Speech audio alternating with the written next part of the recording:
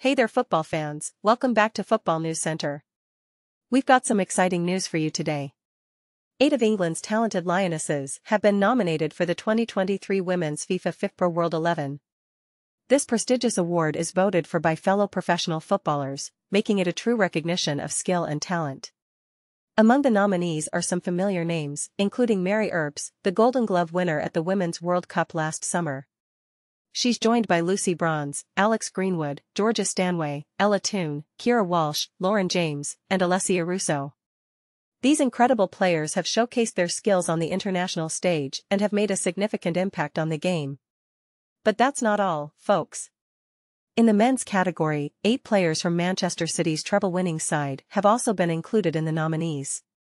This includes Bernardo Silva, Rodri, Kevin De Bruyne, Kyle Walker, John Stones, Ruben Dias, Ederson, and the England captain himself, Harry Kane.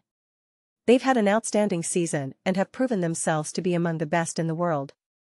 But they'll face tough competition from other talented players such as Erling Haaland, Virgil van Dijk, Emiliano Martinez, Lionel Messi, Kylian Mbappe, and Cristiano Ronaldo. It's going to be a thrilling battle to see who makes it into the final team. The winners will be announced on Monday, January 15th, during the Best FIFA Football Awards ceremony in London.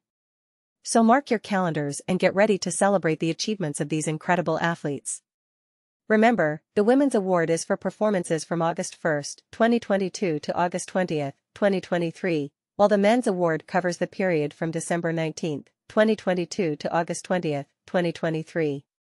Stay tuned to Football News Center for all the latest updates on this exciting event. And don't forget to like and subscribe to our channel for more football news. Thanks for watching, and we'll see you next time.